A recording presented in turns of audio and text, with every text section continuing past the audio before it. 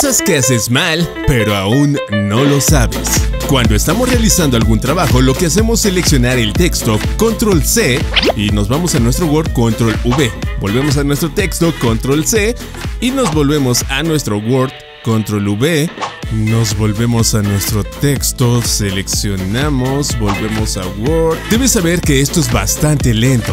Lo mejor es concentrarte en nuestro texto, seleccionar lo que vayamos a copiar, control C, y así podemos ir seleccionando todo, control C. Seleccionamos control C. Ya que tenemos todo, simplemente tecleamos Windows más V. De esta manera se nos abre el portapapeles y aquí está todo lo que hemos copiado. Aquí podríamos seleccionar qué queremos copiar. Por ejemplo, seleccionamos el de abajo y así podemos Windows más V y podemos ir pegando todo lo que hemos copiado previamente.